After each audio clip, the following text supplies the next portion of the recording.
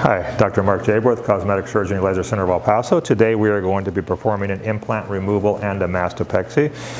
So this patient presents, she's had implants in place for approximately 13 years. Um, they were put in in Mexico, so I'm not exactly sure what type of implants they are. We do believe they're silicone gel implants, and I do believe they're above the muscle, but she's been having pain in this right breast.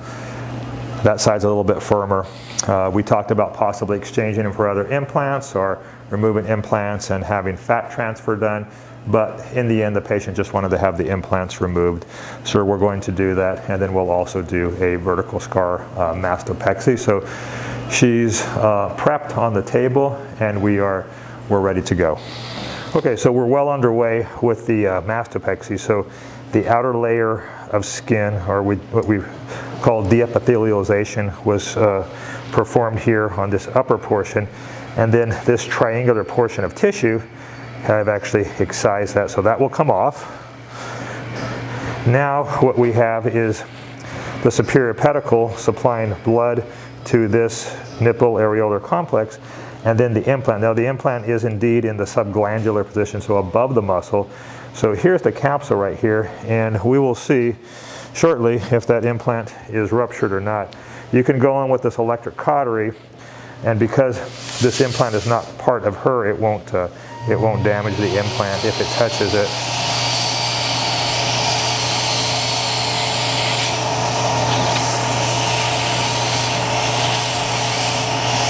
So there is some fluid there that you can see coming out, and that's not too uncommon to see. But the implant itself does not appear to be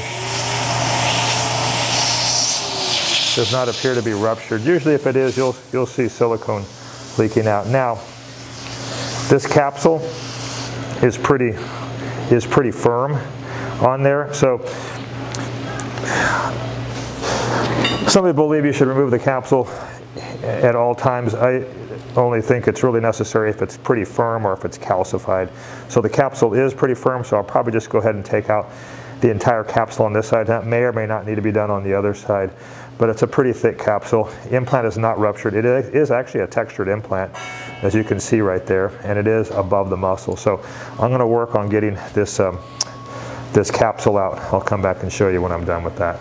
So I've dissected all the way around that capsule. I did open it. I just wanted to see if it was ruptured first and see the status of it. So it's pretty thick capsule. This is much thicker than you would find in a normal situation. So here it is.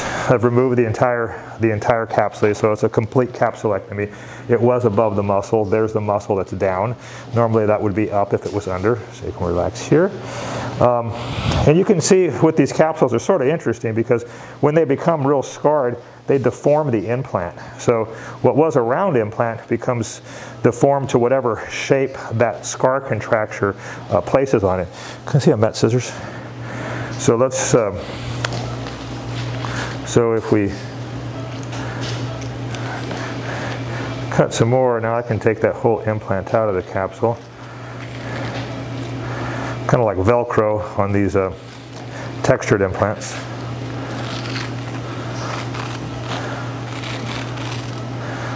Really is like Velcro. Um, so there's the capsule. There's the implant. You can see the implant's almost, it's kind of deformed because that's, for years it's been, it's been pushed like that. So it's not, it's not its normal shape anymore. And um, if I can see properly without my headlight, it has a marking of 350 cc's. The brand is something I'm not familiar with. It was placed in Mexico. They can use brands that uh, we don't necessarily have over here. But there it is. It's actually, it's a shaped implant too, or it's supposed to be a shaped implant because it's marked, here's the bottom of it. So it's a bigger, bigger on bottom than on top. But because of the contracture, it really made it into a, a round or a sort of an, an oval or deformed type of shape because that's how it was sitting in the capsule like that. Anyway, it's out. We're not going to replace it. We'll wash out the pocket real good and we'll start closing and then I'll go over to the other side. But a little bit interesting and different type of case. All right, so we're all done with this side. I've, I've closed the incision. I did put a drain in. uh, when you remove that capsule, you create a, a, lot of raw tissue that can potentially produce a seroma. So this side's completely done. Going to go over to the left side and see what we find. Likely do the same thing. This side here, I went ahead and did the same thing. I've removed that tissue, deepithelialized the skin. There's a little nick in the capsule. It's not nearly as hard as the other. Uh, it is a textured caps, uh, implant as well. Um, and it's not nearly as firm, but because I went ahead and removed the whole capsule on the other side, I'm gonna go ahead and do the same thing here. Kind of what you do on one side, probably should do on the other side. So I'll do a quick uh, complete capsulectomy on this side, and then we'll start to close. Okay, so the left sides, I've removed the uh, implant and capsule for the most part. You can see when the capsule is not as thick, it just it doesn't come off as clean. There's just there's really just not as good of a plane.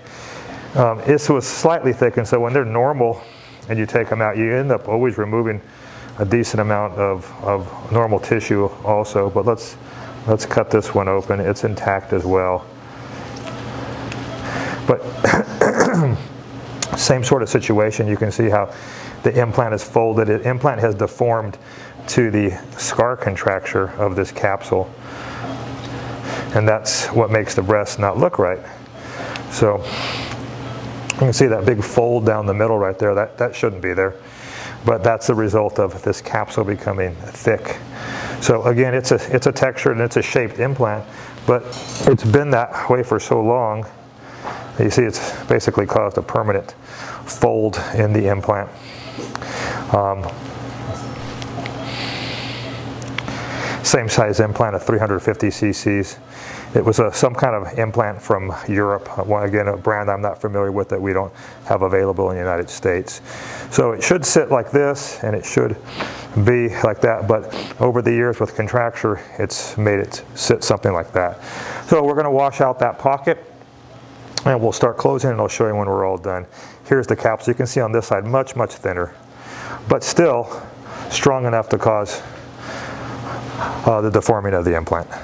We're all done. Uh, both sides have had implant removed, complete capsulectomies, as well as mastopexies performed. I showed you the key steps to that. On this side, the capsule was really very thick. On the other side, it was moderately thick, but both capsules were completely removed. So here we are completely finished. Preoperative uh, uh, appearance with the implants in place. Again, we talked a lot about it replacing implants using fat or using some other modality.